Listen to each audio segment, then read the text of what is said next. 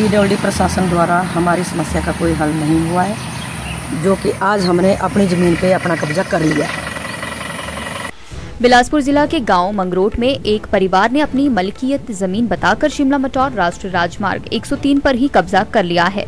राजन कांत शर्मा ने अपने परिवार के पाँच अन्य सदस्यों सहित राष्ट्रीय राजमार्ग 103 पर पत्थर व झाड़ियाँ डालकर कब्जा कर लिया है, जिससे शिमला व धर्मशाला आने जाने वाले वाहनों की आवाजाही प्रभावित हो रही है। राजन कांत शर्मा व सीता शर्मा का कहना है, राष्ट्रीय राजमार्ग 103 पर उनकी मलकियत ज़मीन है, जिस पर पीडब्ल्यूडी विभाग द्वारा कब्जा कर सड़क बनाई गई। थी और अब उनकी ज़मीन वापस नहीं की जा रही है। उनकी मांग है प्रशासन द्वारा ज़मीन की निशानदेही होने के बाद उनके हिस्से में आई करीब आठ बिस्वा ज़मीन को लेकर उन्हें विभाग मुआवजा दे व भूमि अधिग्रहण प्रक्रिया कर उनकी ज़मीन की सही कीमत उनके परिवार को दे। This news is brought to you by GNA ऐसा भी किसने बंद किया है रोड आपने? सर मैंने बंद किया है। क्या कारण है? सर ये ऐसा है कि ये जो ज़मीन है ये जो रोड है बना हुआ जी। विभाग ने अवैध कब्जा करके बनाया हुआ है। अवैध कब्जा मतलब? अवैध कब्जा मीन्स ये है कि जो निशानदेही है निशानदेही में पीडब्ल्यू विभाग का जो मतलब एरिया है ऊपर से। अच्छा। और इन्होंने मतलब मेरी ज़मीन पे कब्जा किया और मेरी जो पंद्रह बीस ज़मीन है वहाँ उसमें से आठ बीस ज़मीन पे इन्होंने कब्जा किया हुआ है। आपको कैसे पता लगा राजन जी इस बात का? निशानदेही में ये निशानदेही देने के लिए कौन आया था? तहसीलदार वगैरह आए थे और कानून पटवारी वगैरह आए थे। विभाग का आदमी पीडब्ल्यू का आया था कोई? हाँ जी उनके विभाग का आदमी भी आया था जेई थे। एक अब लास्ट में आपकी विभाग से कब बात हुई? सर वैसे विभाग से कल भी बात हुई थी पर जी। उसमें कोई समस्या का हल नहीं निकला है सर। हाँ, आपने क्या मांग रखी थी और विभाग ने क्या बोला? सर मैंने उनसे ये मांग रखी थी कि मुझे मतलब जब तक ये मामला सॉर्ट आउट नहीं होता नहीं है नहीं जी। ठीक है तब तक आप मुझे रोज़गार का जो कहीं भी मतलब मतलब ज़रिए आपका रोज़गार छीना गया है। छीना गया है आप क्या करते थे यहाँ रोज़गार? हाँ?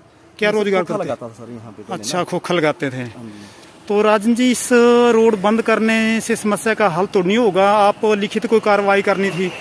सर सब कुछ कर लिया मगर अब हाथ खड़े हैं सर आज के टाइम में ना। आपने हाई कोर्ट में जाना हाँ। सर पैसे नहीं है ना। अच्छा पैसे नहीं है। समस्या तो पैसे की अब आप समझ लेंगे कि खोखा लगाना पैसा बंदे के पास कितने पैसे होंगे। राजन जी आपको पता कैसे लगा कि सड़क में आपकी ज़मीन है? सर जब भी निशानदेही होती थी ना यहाँ पे तो मतलब यहाँ तक आगे तक आती जाती थी ना सर। अच्छा तकसीम वगैरह करवा रहे थे या वैसे निशान? तकसीम का भी केस चला हुआ सर तकसीम में भी ऐसा होता है कि तकसीम भी पंद्रह सालों से पेंडिंग पड़ी हुई है। अच्छा। तकसीम भी सर प्रशासन नहीं कर रहा है क्योंकि तकसीम में जब हमारा अगर जब प्रॉपर देंगे ना दखल देते हैं जी। तो ज़मीन यहाँ पे पूरी नहीं होती है सर। तो आपकी डिमांड क्या है? सरकार से क्या डिमांड है की कब उठाएँगे आप इसको? क्योंकि रोड पे बड़ी बार दिक्कत हो रही मैं भी यहाँ से गाड़ी से जा रहा था और मैंने देखा इस करके मैं आपसे पूछने के लिए दो चार मिनट के लिए रुका हूँ। आपकी मांग क्या है? किस तरह खोलेंगे आप रोड को? ना कि मेरा मतलब जो ज़मीन है उसमें से पीडब्ल्यू विभाग अपना अवैध कब्जा छोड़े और जहाँ से इनका रोड है असल में वहाँ से अपना रोड बनाए। अच्छा। तो ये सड़क कौन सी सड़क? ये मेन वैसे मैं तो मंडी साइड से आया शिमला जा रहा हूँ वैसे। इस रोड का नाम क्या है? शिमला धर्मशाला। शिमला धर्मशाला। हाँ हाँ।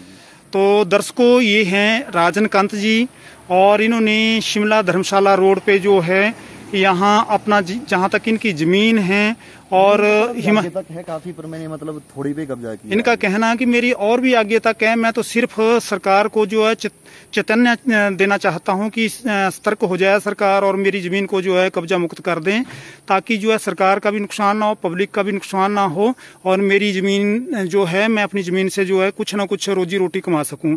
ये इनका कहना है। तो मेरा इस वीडियो के माध्यम से सरकार से भी निवेदन है कि सरकार तुरंत राजनकांत जी से जो है बातचीत करें और इसका कोई ना कोई समाधान निकालें ताकि आने जाने वाले लोगों को या यात्रियों को या जो पेशेंट शिमला जाते हैं इधर से या गाड़ी वाले जो हैं इनको कोई दिक्कत ना हो, किसी प्रकार का यहाँ कोई एक्सीडेंट ना हो, क्योंकि बहुत ज़्यादा यहाँ ट्रैफ़िक हैं और आपने सुन ही लिया कि शिमला और धर्मशाला का रोड है। अभी ये देखिए, आप शिमला बस जा रही है, एचआरटीसी की बसें जा रही है, फुल फ़्लाइट हैं। और मेरा निवेदन एक बार पुनः सरकार से और जिला बिलासपुर के प्रशासन से और पीडब्ल्यू विभाग से कि तुरंत राजन से मिल के जो है, मिल बैठ के बातचीत करके जो है इसका कोई ना कोई समाधान निकालें ताकि समस्या का हल हो।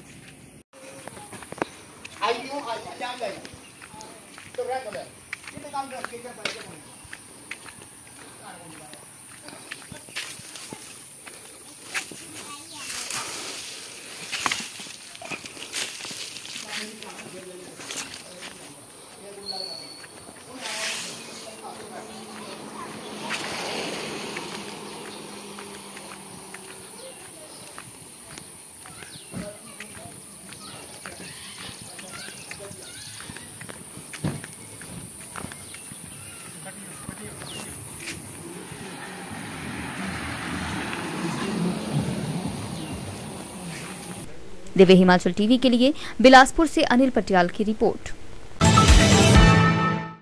We at GNA University see potential in everyone and everything around us. We drive innovation and entrepreneurship. We groom competent global citizens to affect positive change around them.